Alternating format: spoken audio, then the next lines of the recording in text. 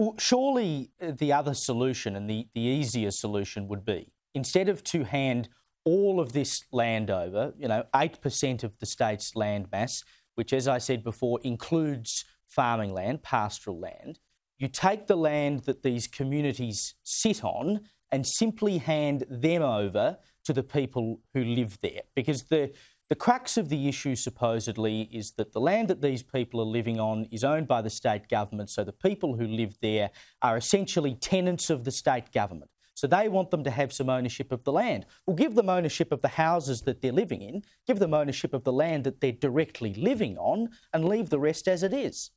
Yeah, I couldn't agree with you more. You know, you're right on the money there.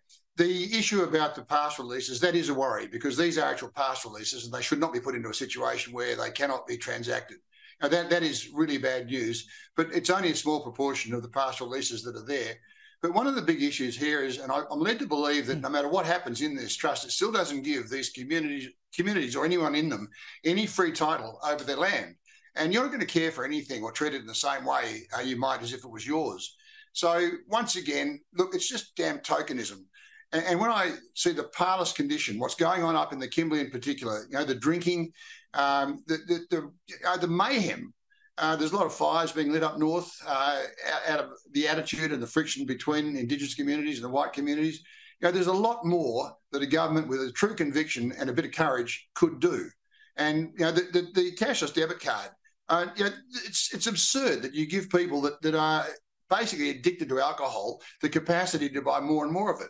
And, and most of all, we know about the kids that have mm. been born with alcohol fetal syndrome, but what about the mothers that are pregnant right now and are drinking? For God's sake, let's do something about this and not just tokenism.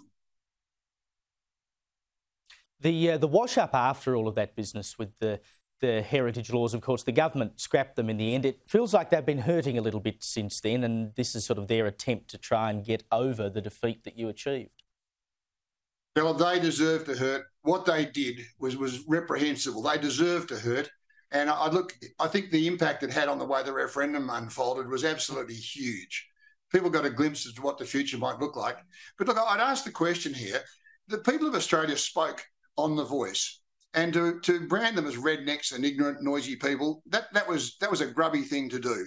This this was considered opinion of the majority of the people of Australia. The two leaders in this debate, Warren Mundine and especially Jacinta Price, they had some fabulous solutions and, and a, a, way forward. And where are they? Are they being heard? You know, the media, uh, the press, ABC mm. in particular, they just will not concede the fact that they got it completely wrong and there are people out there that have a solution, and bring them into the room and start talking to them about what might be done.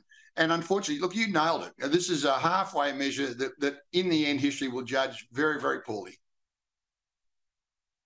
Well, you know, they could get all these people in a room. They could even call it a voice to Parliament if they really wanted to. They could legislate one tomorrow, just as they could have legislated one a year ago. But anyway, I won't hold my breath. Tony Seabrook, thank you so much for your time.